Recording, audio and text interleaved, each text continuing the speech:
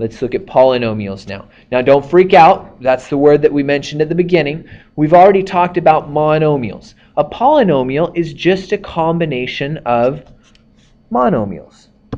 Okay, so it's a monomial or a sum of monomials. You'll notice it has that same nomial. Nomial means names or types of terms, right? Monomial, mo, means single. That's a single term. Polynomial means that it can have several. Poly means several terms. Polynomial, several names.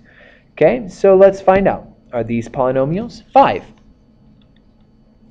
The answer is yes, because 5 is a monomial. If you'll remember back to that first thing with the monomials, a monomial is a constant or a variable or a product of constants and variables with whole number exponents. 5 is a constant, therefore it's a monomial, and a monomial is a polynomial. So yes, this is a polynomial. How about this one? Well, that one's easy, because yes, this is a monomial, and that's a monomial. Therefore, the sum of them, the sum of monomials, is a polynomial. Okay, how about this one? This one's a little bit tricky because I stated it this way on purpose because usually that's how it'll be read in a dictionary or something. It will say a monomial or a sum of monomials. But this is a little bit tricky because you say, ah, but that's a minus. A minus is not a sum. But I'll tell you what, back in pre-algebra, you learned that when you had a minus, you could turn that into a plus a negative, couldn't you? And so now it is a sum. And so even though it is a sum of monomials, it can actually be pluses and or minuses.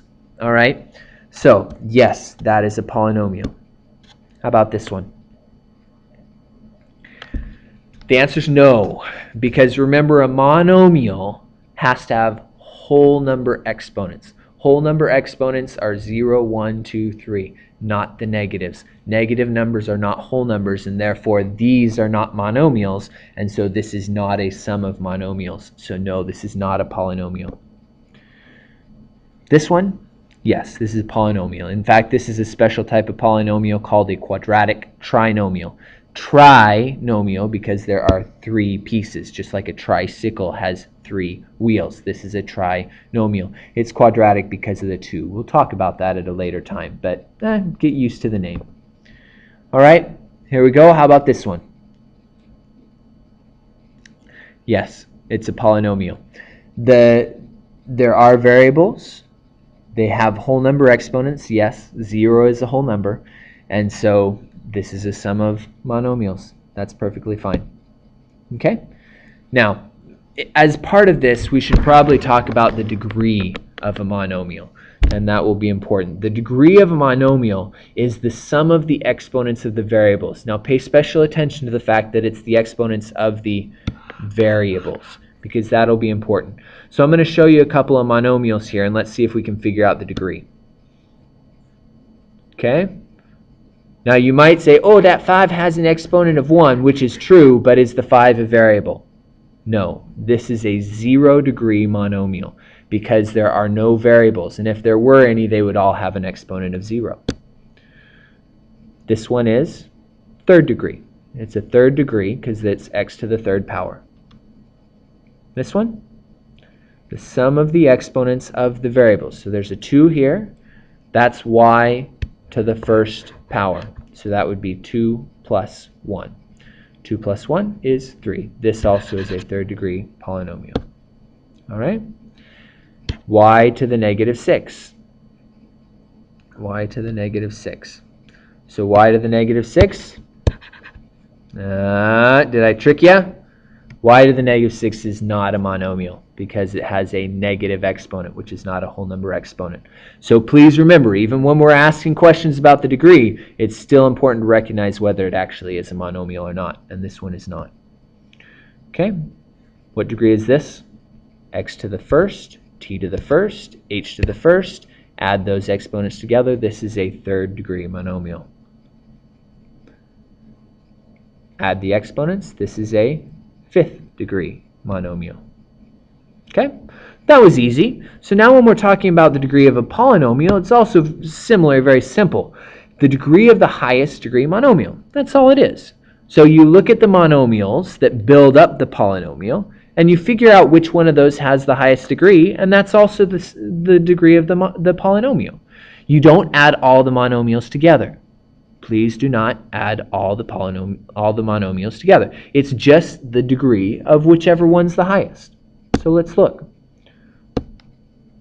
5. Okay, well there's only one monomial there, and its degree is 0 because remember the degree is the the exponents of the variables. So it's a 0 degree monomial and therefore it's a 0 degree polynomial. Okay, how about this one?